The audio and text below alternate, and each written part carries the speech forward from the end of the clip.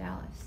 Yeah, I don't I don't know if anyone in here has ever lost a mentor or lost someone that's a little bit older than them that meant something to them. Um, even if you guys didn't talk every day, uh, there was still that connection that they were always going to be there for you. And um, it wasn't just him; it was his family as well. Um, they supported me unconditionally, and uh, I miss him every single day, just alongside the rest of the world and all the Kobe supporters around the world, um, because he held such a big presence and. Um, he knew what his power was. He knew what his superpowers were. And, and, they weren't on the court all the time. They were his ability to approach life and how he inspired you to continue to do extra even when you got tired. And I think his life lessons transcended basketball or any sport or any entertainment business. It, it really um, helped and spark the new brains for this next generation to carry the torch. And that's what I felt like he was teaching me was to be able to carry the torch and also know how to pass it along.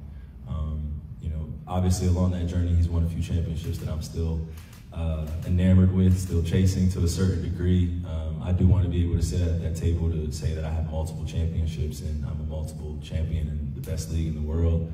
Um, you know, but I think in the in the small dose of truth, he, he, always reminds me to enjoy the journey. The journey is a reward, and uh, put it in perspective. You know, there are billions of people that are going to love you. There are billions of people that are not going to love you.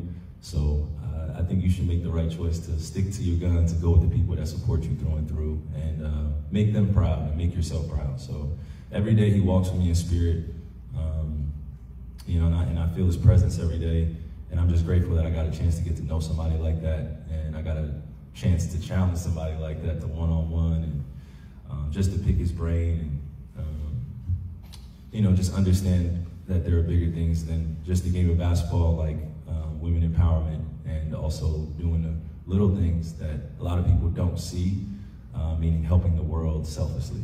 You know, so he, yeah, I could go on and on about this, but he helped out a lot of people that no one really knows about, and uh, he did things without anyone's praise. So I try to follow in that same lineage and create my own path, and um, you know, create my own formula to success while also commemorating his formula that he gave me.